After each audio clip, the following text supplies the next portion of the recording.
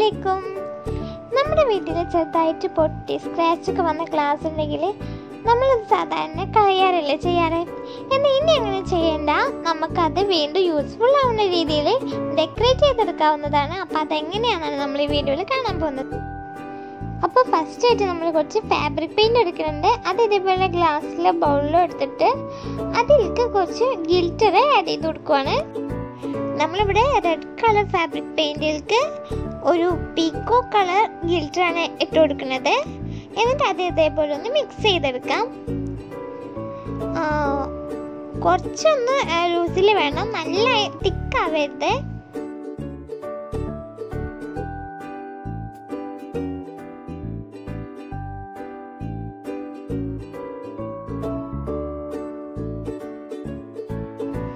എന്നിട്ട് നമ്മൾ ഗ്ലാസിന്റെ ഉള്ളിൽ നിന്ന് പെയിന്റ് ചെയ്യുവാണ്. പെയിന്റ് ചെയ്യുമ്പോൾ താഴെ നിന്ന് മേൾക്ക് വീഡിയോയിൽ കാണുന്ന പോലെ വേണം പെയിന്റ് ചെയ്യാൻ സൈഡിൽ കുക്കാക്കിയിട്ട് പെയിന്റ് ചെയ്യുവാണെങ്കിൽ അതിൽ നമ്മൾ ഗിൽറ്റർ ആഡ് ചെയ്തുകൊണ്ട് അതാകെ സ്ക്രാച്ചും ഇതുപോലെ തോന്നും. ഫിനിഷിങ് കിട്ടില്ല.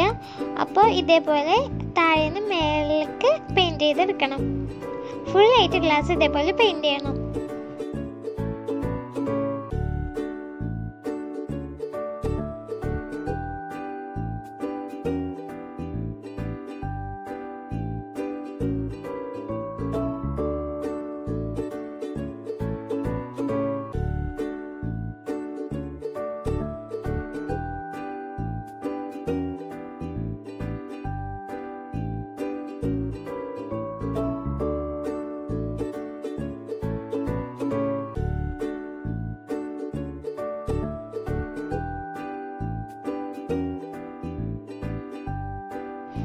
ഓക്കെ അപ്പോൾ നമ്മളിത് ഫുള്ളായിട്ട് കളർ ചെയ്തെടുത്തിട്ടുണ്ട്.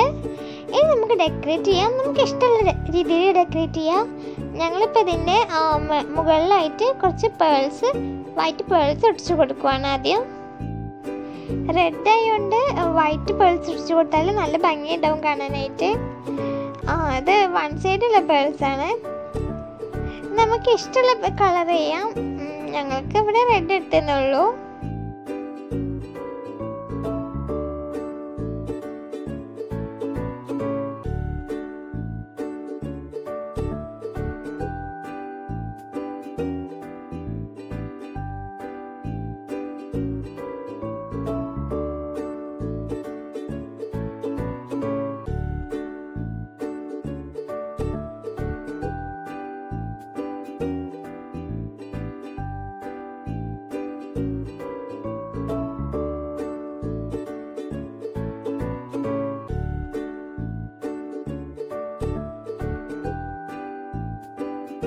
അപ്പോൾ അത് ചുറ്റുഭാഗം കംപ്ലീറ്റ്ലി നമ്മൾ ഒട്ടിച്ച് കൊടുത്തിട്ടുണ്ട്.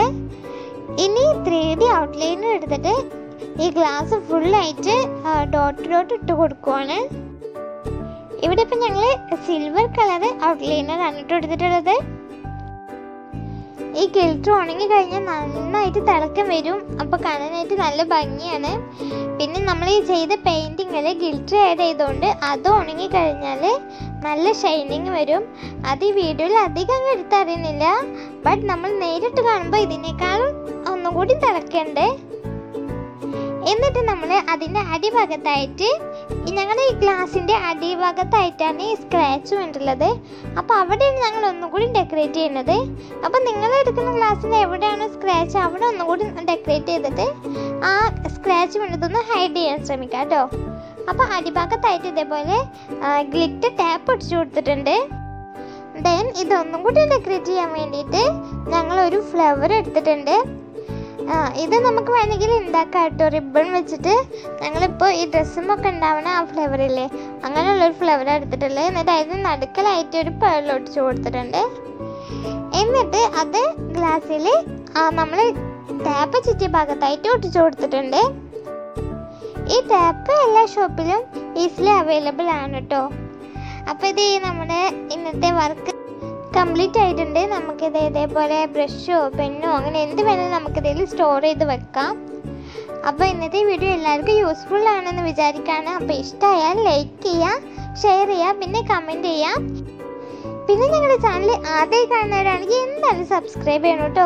സബ്സ്ക്രൈബ് ചെയ്യാൻ മറക്കരുത്. അപ്പോൾ തൊട്ടടുത്ത് കുഞ്ഞ് ബെല്ലൈക്കും വരും. അപ്പോൾ അതുകൂടി ക്ലിക്ക് ചെയ്യുക അതിൽ ഓപ്ഷൻസ് വരും. അതിൽ ഓൾ തന്നെ സെലക്ട് ചെയ്യുക പിന്നെ ഞങ്ങളുടെ സോഷ്യൽ മീഡിയാസിന്റെ ലിങ്ക്സ് താഴെ ഡിസ്ക്രിപ്ഷൻ ബോക്സിൽ ഉണ്ടാവും. അപ്പോൾ അതിൽ കൂടി ഒന്ന് കയറി ഫോളോ ചെയ്യാം കേട്ടോ നെക്സ്റ്റ് നല്ലൊരു വീഡിയോ ആയിട്ട് കാണുന്നത് വരെ എല്ലാവർക്കും ടാറ്റാ. Bye bye